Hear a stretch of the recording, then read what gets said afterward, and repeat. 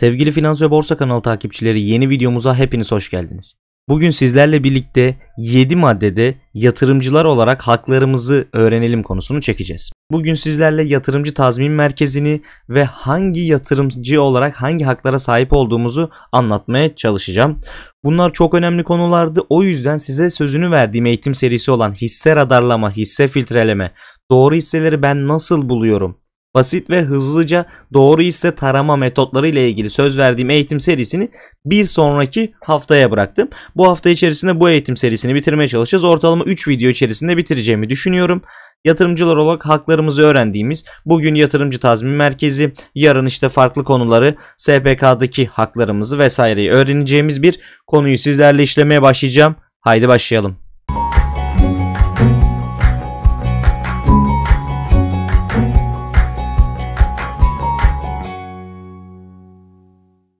Kanalımıza abone olmayı, beğeni butonuna basmayı, yorumlar kısmından bize destek olmayı ve abone olduktan sonra özellikle şu sağda çıkan çan butonuna basıp onun üzerine tıklayın bir kere tümüne getirin ki bildirimlerden anında haberdar olabilirsiniz. Aynı zamanda bugün Hap tarafındaki bildirimlere baktığımda Yunsa'da alım sürecinin devam ettiğini ve Yunsa'nın hisse fiyatlarının da yukarı doğru gitmeye devam ettiğini görebiliyoruz. Yine değer yatırımcısı olan bir kişinin sürekli olarak Yunsa hisselerini aldığını biliyordunuz. %5 kadar toplamıştı ve toplamaya devam ediyor. Bunların anlık bildirimlerini hem Instagram'dan sol tarafa animasyonunu koydum ve açıklamalar kısımları linki var. Aynı zamanda da Telegram'da onun da sağ tarafa hem animasyonunu koydum hem de açıklamalarda ve sabitlenen yorumlarda linkleri mevcut. Telegram'a ve Instagram'a gelerek bu tip önemli bildirimler gelişmelerden anında haberdar olabilirsiniz. Katıl tarafında kısa vadeli alsat eğitimlerimizi, haftalık aldı olan hisse eğitimlerimizi ve yeni gelecek özel serilerimizi izleyebilirsiniz. Şimdi destekleriniz için tekrardan teşekkür ederim ve videoya başlayalım.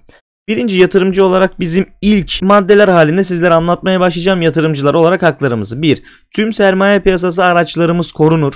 Yani bu ne demektir? Eski tüzükte yer aldığında sadece hisselerden yapılan işlemlerdeki zararlarımız yatırımcı tazmin merkezi veya o zamanki fon sayesinde korunuyordu. Şu anda tüm sermaye piyasası araçlarımız korunuyor. Yani sadece hisse senedi değil tahvillerimiz de korunuyor. Fakat para piyasasından kaynaklanan zararlarımız sermaye piyasası aracı olmadığından bu kapsam içerisine girmiyor.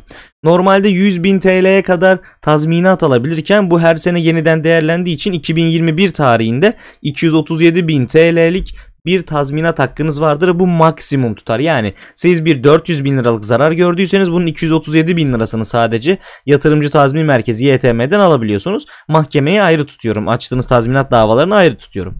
Fakat örnek veriyorum siz 150 bin liralık bir zarara maruz kaldıysanız burada ne olacak? Yine sizin 237 bin liradan az olduğu için 150'ninizin tamamını karşılamış olacaklar. 2. Piyasa kapsamında neler değildir? Neler piyasa kapsamına girmiyor? 1. Yatırımcıların yatırım danışmanlığı aldığında yatırım danışmanlarının söylediği fikirlerden veya verdiği alsat tut tavsiyelerinden kaynaklanan zararları piyasa kapsamına girmiyor. Yani yatırımcı tazmin merkezi bunları tazmin etmiyor.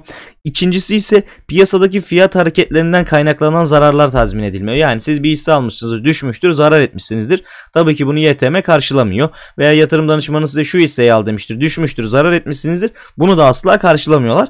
Burada karşılanacak kısım farklı. Birazdan aşağıda onlara da değineceğim. 3. Sermaye piyasalarına olan güveni arttırmak için kurulmuştur yatırımcı tazmin merkezleri. Çünkü dışarı taraftan da bakıldığı zaman yatırımcılarına bir tazminat sağlayacak aynı zamanda haklarını savunabilecek bir kurul vardır. Bu oldukça güzel bir güven sağlayıcı oluyor bizler için. 4. Kamu tüzel kişiliğine haizdir. Yani e, bir şahıs adına değildir. 5. Ödenecek tazminat için kurum müşteriye nakit ödeme yapmamalıdır veya sermaye piyasası araçlarını teslim edememelidir. Şimdi bunu inceleyecek olursak yani her türlü olaydan size yatırımcı tazmin merkezi para ödemiyor. Bunun için aslında temel iki tane konu var. Birincisi siz bir aracı kurumda hesap açtınız. Aracı kurum veya banka olması arasında bir fark yok. Hemen oraya değineyim isterseniz. İkisinin de hisseleri takas bankta saklanır. Yani e, burada aklınıza aracı kurum güvensiz banka güvenli veya banka güvensiz aracı kurum güvenli gelmesin lütfen araya bilgi olarak atmış olayım. Şimdi biz normal konumuza dönünce siz bir aracı kuruma yatırım hesabı oluşturdunuz ve paranızı veya hisse senedinizi aldınız. Şimdi hisse senedini sattığınızda size para vermesi gerekiyor ki yani oradan satılan parayı sizin hesabınıza aktarması gerekiyor. Eğer bunun nakit ödeme yapamazsa çekle senetle sonraki vadede ödeyeceğim şu an nakitim yok tarzı bir şey yaparsa hemen bingo. Bu gidip yatırımcı tazmin merkezinden bunu tazmin almamıza yarayacak bizi haklı konuma geçirecek bir durumdur. İkincisi ise sermaye piyasası araçlarının teslim edememesi. Örneğin siz bir tahvil almışsınızdır veya bir hisse senedi almışsınızdır.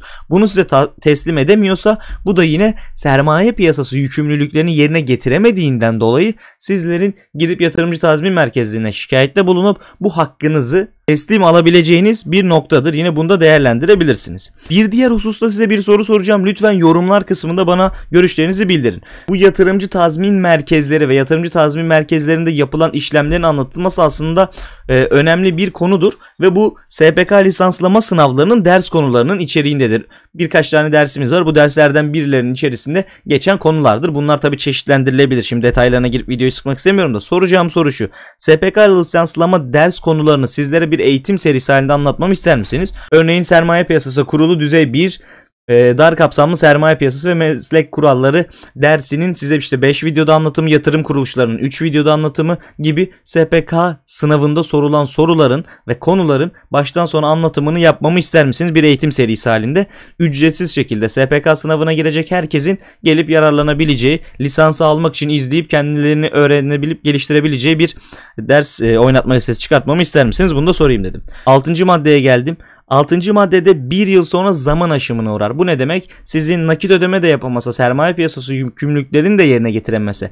Eğer bir sene boyunca gidip de bunu yasal olarak başvurup süreci başlatmazsanız süreç başlangıç tarihinden itibaren söylüyorum. Süreci başlatmazsanız bir sene sonrasında bu ne olur? Zaman aşımına uğrar. Yani sizin nakit ödemeniz yapılmadı veya sermaye piyasası yükümlülükleri yerine getirilmedi. Siz bundan iki sene sonra gidip şikayet edebilir miyim dediğinizde hayır edemezsiniz. Bir sene sonra zaman aşımına uğrar. Yedinci maddemiz bu karar sadece SPK tarafından verilebilir. SPK kararı onaylar. Yani yatırımcı tazmin merkezine gidersiniz ve kesin olmak zorunda değildir. Yine bir onay süreci gerektiriyordur. SPK bunu onayladıktan sonra size paranızın ödemesini yapılır.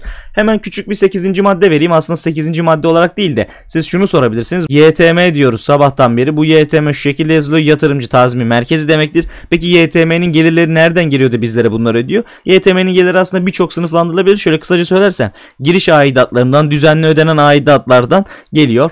Bunlar hangi işte zaten yatırım kuruluşları, aracı kurumlar bu YTM'ye kaydoluyorlar, aidat ödüyorlar. Buradan geliyor. Bir diğeri de piyasada yanlış yapılan işlerden, örneğin bilgi suistimalinden, örneğin manipülasyondan idari para cezaları kesiliyor. Bunların ortalama %50'si yatırımcı tazmin merkezlerinde birikiyor ve buralardan ödemeler gerçekleşiyor. 7 maddede yatırımcı haklarınızı öğrenelimin ilk videosunu bitirdik. 3 video içerisinde yatırımcılar olarak tüm haklarınızı öğrenebileceksiniz. Şu anda öğrenebileceğiniz şey bütün sermaye piyasası araçlarında eğer haksızlığa veya mağduriyete yol aldıysanız 237 bin TL'ye kadar tazminat alabilirsiniz. Bunu gidip yatırımcı tazmin merkezine beyanda bulunmanız yeterlidir. Yatırım danışmanlığı veya piyasa hareketlerinden değil doğrudan aracı kurum zafiyetinden dolayı kaynaklanan konularda açabilirsiniz. Fiyat hareketleri tabii ki aracı kurumları veya yatırımcı tazmin merkezini bağlamaz. 7 maddede yatırımcı olarak haklarımızı öğrendiysek Kanala abone olmayı, beğeni butonuna basmayı, zil bildirimini açmayı, Telegram ve Instagram gruplarımıza gelerek anlık kap bildirimlerinden ve anlık gelişen haberlerden haberdar olabilirsiniz. İzlediğiniz için hepinize çok teşekkür ederim. Bir sonraki videoda görüşmek üzere. Sağlıcakla kalın.